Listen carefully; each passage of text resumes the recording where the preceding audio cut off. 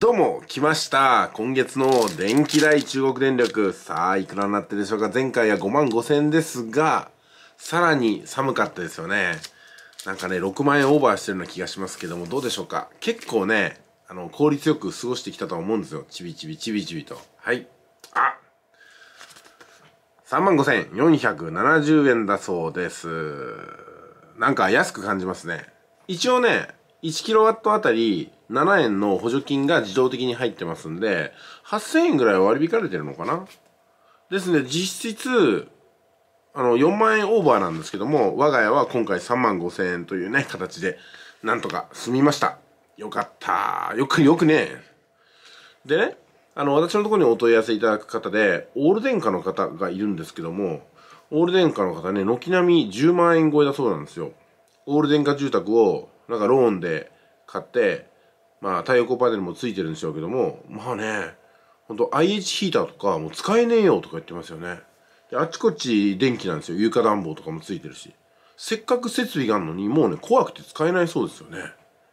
で、お風呂はまあ、ワンタッチポンで自動的に沸くんですけども、まあそれもね、電気温水器なんですよ。電気温水器はあの、深夜の安い電気料金でやってると思いますけども、それでもね、10万円超えとか12万超えを見てびっくりしちゃって、もうこれが一生続くわけでしょ。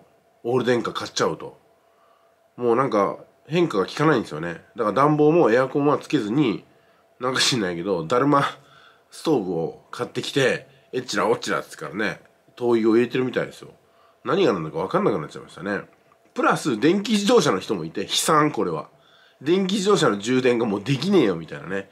まあ、今までは、夜帰ってきたら充電器入れて、それから朝ね、満タンになったので出かけていくみたいなことしてたらしいんですけども、もう電気自動車使えない使えないってからね、叩き売ろうとしてるんだけども、でも電気自動車は、リセールがすごく悪い。うん、買い取りがね、ものすごい、特に今の時期、電気自動車売りたい人がいるみたいでね。でも、買ってくれないけど、電気自動車なんてもう、ほんと悲惨ですよ。ハイブリッドの様々だったらしいですし、それからガソリン車の方がまだまだ使えるみたいです。うん、いろいろね、なんかこう、電気自動車だ、オール電化だとか言ってね、乗せられて買ったけども、こんなね、あの、クロスカウンターを食らうと思わなかったみたいな感じで不満が噴出しておりますと。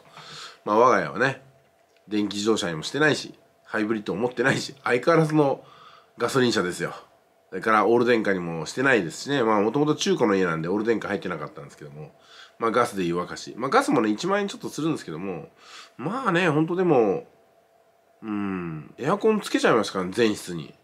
全室にエアコンつけたのに、その瞬間エアコン使用禁止とか 灯油でやっておりますよ。あとは、綿入れ番店で暖かく過ごして、これでね、暖房を結構使わずに済んでるんですよね。だから、綿入れ番店ね、いいやつを買うのをお勧めしますよ。やっぱ8000とか1万円ぐらいしますけども、でも毎日ね、これでも、ポカポカ、本当に。これ、綿入れ番店、今の時代だからこそおすすめですよ。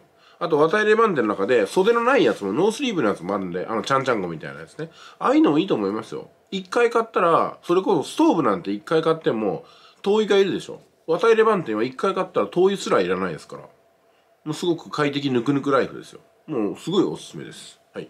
じゃあ、電気代、今月は35,470円、6SLDK1 戸建てでございました。いってらっしゃい。